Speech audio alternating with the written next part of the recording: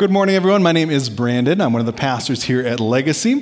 Whether you're joining us online, on television, or right here in the sanctuary, thanks so much for spending just a little bit of your Thanksgiving weekend with us.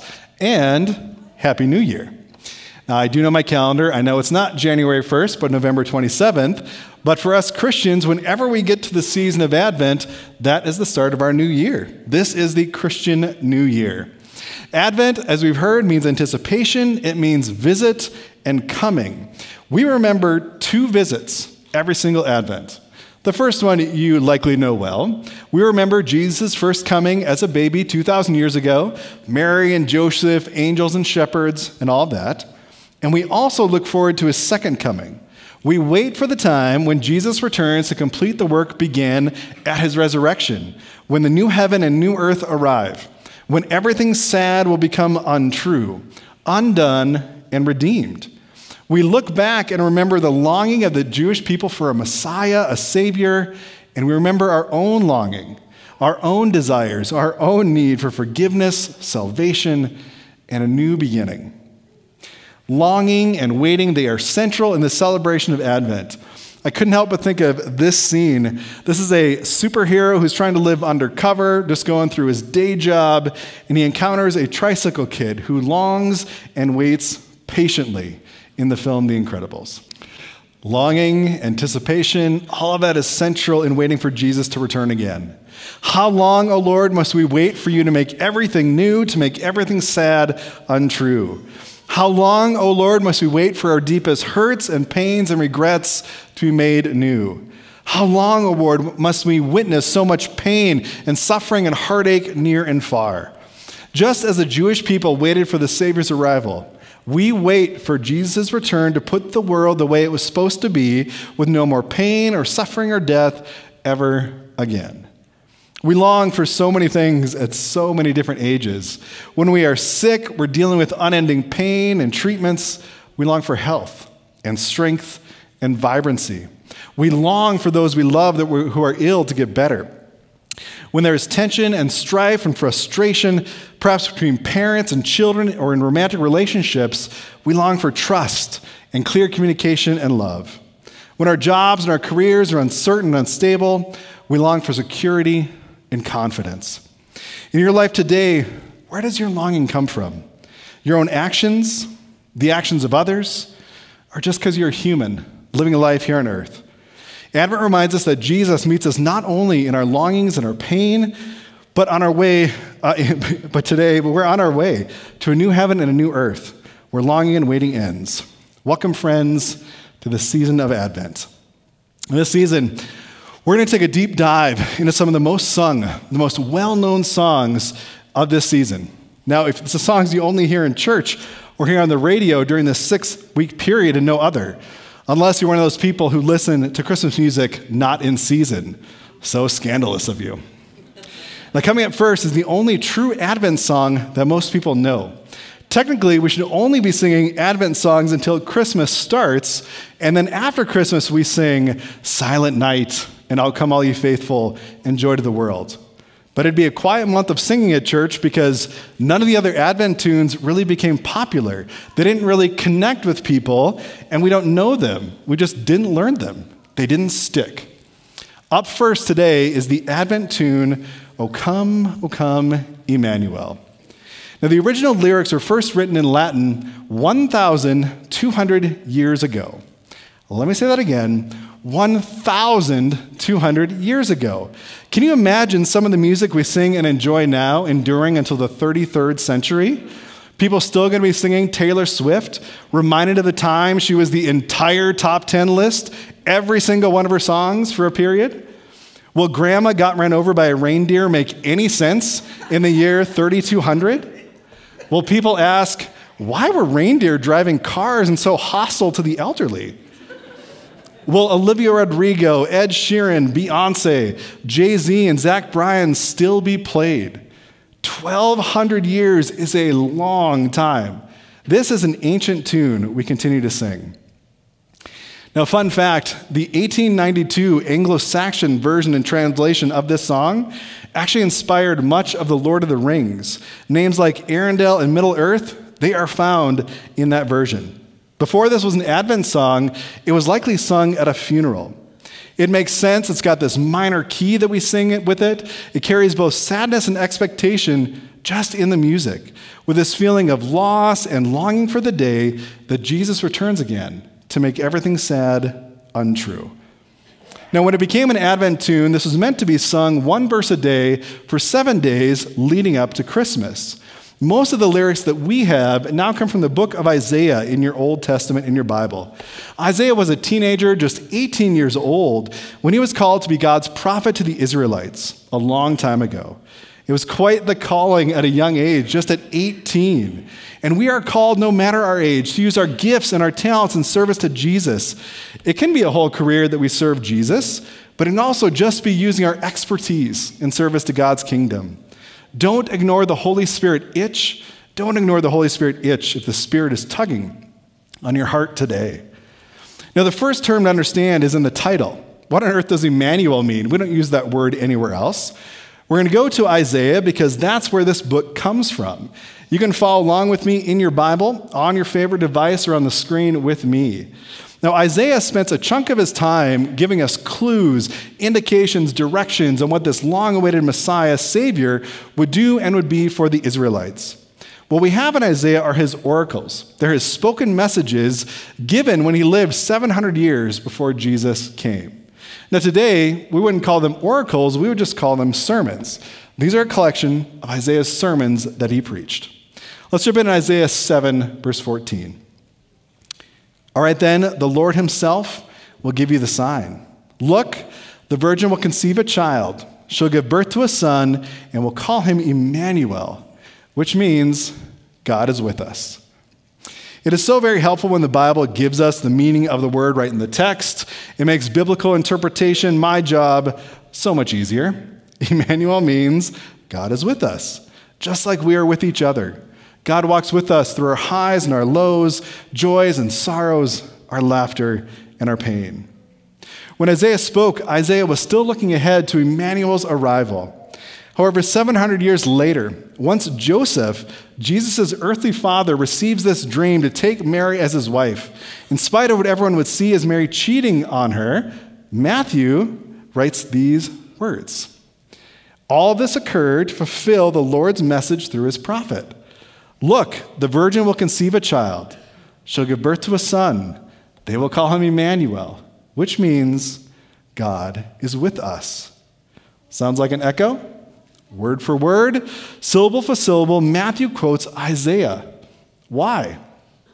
Because Jesus is Emmanuel, God with us. If you want to know what God is like, look to Jesus. If someone says God did something and it doesn't match up with how Jesus lives, acts, and speaks, then God didn't do it. Jesus is God in the flesh. If you want to, exp- if you want to express happiness, sadness, anger, and grief to God, give it to Jesus in prayer, in meditation, because Jesus is Emmanuel, God with us, walking with us still today through everything we journey with in this life. That means in our longing, God is with us. Whatever your longing, your anxiety, your suffering, we can find hope that God is with us and a future filled with hope and life and love is coming. You will not be tired forever. You will not be weak forever. You will not be anxious and fearful forever. You will not be separated from your loved ones forever. God is coming to save you. God is coming to save me. That's the point of remembering not just Jesus' arrival as a baby, but his return when everything is made right again. Advent gives us this glimpse into the future by remembering the past. Advent gives us this glimpse into the future by remembering the past. This glimpse helps us so we can endure whatever longing or pain or suffering we have in this present moment. It can give us strength, give strength for the tired, for the weak to keep going. The anxious and fearful find peace knowing the end of the story. Just as Jesus came the first time in a manger, he will come again to restore everything and everyone. Let's take a look at some of the other verses of this song, other imagery ripped right from Isaiah that points to Jesus. Here's the first verse. O come, O come, Emmanuel and ransom captive Israel. that mourns in lonely exile here until the Son of God appear. So, know what Emmanuel means, but what does Son of God? In ancient times, Son of God could mean many different things. Romans could hear and think Jesus being called Son of God, and they think he was a usurper to the throne, that he was going to take over Caesar. But in our Bibles, it primarily connects back to King David. God promised David that someone from his family line would be on the throne forever. In fact, the Messiah would come from David's line. So, Son of God is primarily a shorthand for the Messiah, for the long awaited Jewish king. Notice in this verse that Israel is in captivity. Shortly after Isaiah, is, Isaiah preaches, Israel is exiled. They're carried far away from their homeland, most never to return again. They're ripped away not only from their homes, from the place they believe they needed to be to worship God. Here, the author of the song notes even in deep despair, even in their mourning, there's reason to hope. There's reason to hope because the Son of God is coming. The Son of God will appear. The Son of God will rescue Israel. Even though Israel got themselves into the situation, God is still sending the Messiah to rescue them. As a matter of fact, God will come to be with us in Jesus. Friends, even in the middle of the messes of our own making, giving in to our own desires, to sin that destroys our relationship and connection with God, God still wants to rescue us. How incredible is that? God doesn't want to give up on us. God wants to redeem us, to make us whole again. If there's one takeaway of Israel's journey with God, it's that no matter how many times Israel got themselves into trouble, God was always, always willing to come to the rescue. They simply have to ask. We simply have to ask, and Jesus will rescue us, redeem us, restore our connection with God. So, no matter what you're going through today, there is reason to hope. There's always reason to hope. Jesus is coming again. Jesus will appear in the flesh again. Jesus wants to rescue us in the future, and he wants to rescue us today. For it hangs us up or holds us back to the full life he wants for all of us. Jesus wants to rescue us just like he eventually rescued Israel from exile and returned them to their homeland. Take whatever you've got to Jesus, whatever burden in prayer, and let Emmanuel sit with you. God with us sit with you and heal and direct you on whatever is next in your life. Here's another verse of the song. Oh, come, thou root of Jesse's tree, an ensign of thy people be. Before thee, rulers silent fall, all peoples on thy mercy call. The one that always strikes me here is what is a root of Jesse's tree? Not language that we use. Now, the author of this song is pulling again from Isaiah and from King David's life. Jesse was David's father. And since God promised the Messiah would come from the line of David, the root of Jesse's tree, it's just a very poetic way of saying, Oh, come, Messiah, come make things right again. Fulfill your promise that the Messiah would come from Jesse and David's family. This is the scripture from Isaiah chapter 11. Out of the stump of David's family will grow a shoot Yes, a new branch bearing fruit from the old root, and the Spirit of the Lord will rest on him the Spirit of wisdom and understanding, counsel and might, the Spirit of knowledge and fear of the Lord. Jesus is indeed from the line of David, fulfilling Isaiah's prophecy the Messiah will come from David's house. Another verse from the song picks up on the second part of the passage that the Messiah will have the Spirit of the Lord on him. O come, thou wisdom from on high, and order all things far and nigh. To us the path of knowledge show, and cause us in her ways to go. They didn't know it then, but we know now. Jesus was and is God, the very embodiment of wisdom and understanding, and of counsel and might in human form. I don't think we feel the same desire and passion for wisdom as the ancients did, those in Isaiah's time and those in Jesus' day. Looking to the internet, to social media feeds, I see so many people just wanting to be heard, to be loud, to say the extreme thing to get attention, but not nearly as many people seeking wisdom and life beyond themselves and their own limited earthly experience. In Jesus' day, especially, the most thing people wanted, the thing so many people searched for, was wisdom. They wanted knowledge beyond themselves to live a life full of meaning and purpose and hope. Wisdom in the first century was defined like this the skill of living well, making the right decisions, which prolong and promote life and health and happiness, even in a dark world. Who doesn't want that still today? I want to make the right decisions. I want to do things that prolong and promote life, not just for me, but for my neighbor as well. In Jesus' day, they gained wisdom by listening to parables and stories, riddles, and other forms of speech offered by Jewish teachers. Wisdom became associated with things like eternal life, resurrection, and salvation. Wisdom brings salvation, wisdom brings eternal life. Might sound familiar. It wasn't uncommon to hear phrases like, Wisdom is the light of the world. Wisdom is the way, the truth, and the life. Wisdom is the true vine. That might sound familiar. The pursuit of wisdom was a big deal. And what do we find in our Bibles? Jesus says, I am the light of the world. Jesus says, I am the true vine. Jesus says, I am the way, the truth, and the life. You want wisdom, you want life to the full. There is wisdom standing right there, breathing in the flesh in Jesus. You want to live well, you want to make right decisions, follow the way of the carpenter from Nazareth. You want eternal life, resurrection, and salvation, follow Jesus. From Isaiah's day to Jesus' day, the ancients wanted wisdom, and the Messiah came, God in the flesh, in Jesus to be wisdom and to show the way to life then and still today. The Messiah who was in his wisdom that came through David's family line to bring us hope and healing and life, no matter what we might be struggling with in this present moment. Now, the final verse shows us that this song is about both Advents his first coming and his second.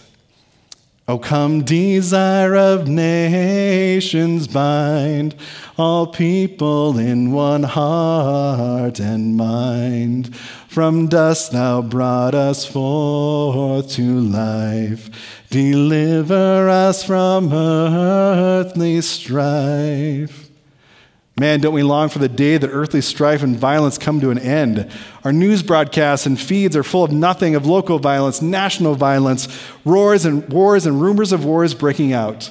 We long for a permanent peace that Jesus' second return will finally bring the renewal, redemption, and resurrection of not only our loved ones that have gone on to be with Jesus, but a new heaven, a new earth, a renewed place where God walks with us. There'll be no more crying or death or pain ever again. That's what our Bible teaches us. That's where the song directs our hearts and our focuses to. Our task is not to sit passively and wait. We actively wait, getting involved where we see people in pain and suffering and in need of the hope, healing, and wholeness that Jesus brings. Advent reminds us of this longing deep inside of us, and we know we're not going to sit in our longing forever. Jesus will return. God will make everything right. God will make everything sad untrue.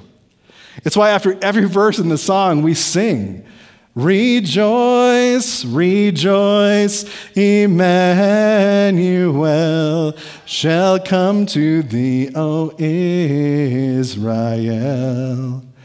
In that minor key, in the midst of our own pain and strife and not quite wholeness, we still rejoice. We give thanks for all the blessings in our lives, just like we did this past Thanksgiving holiday. We rejoice in a world that seems to be filled with nothing but pain and violence and strife. And there are still people seeking wisdom, following Jesus, being light to the dark places. There are reasons to rejoice even in the middle of our own pain, because Emmanuel, God is with us today. Emmanuel, God is with us tomorrow, because Emmanuel, God will return to make crying and suffering and pain and death disappear forever, to make everything sad untrue. We actively wait, just like that tricycle kid in The Incredibles, waiting for something amazing. He got to see this.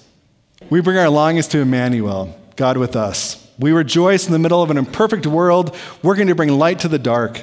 And we look forward to the day in the new heaven and the new earth when we can say, That was totally wicked. Welcome, friends, to Advent. Let's pray together. Lord Jesus, in the middle of our longing and hurts, in the middle of our rejoicing and sorrow, Help us to see us with you, God with us. Whether through other people, through our times of prayer and meditation, through your word, or in the amazing world you've created for us, may we see you are indeed Emmanuel walking with us through it all. It's in your resurrected Savior's name we pray together. Amen.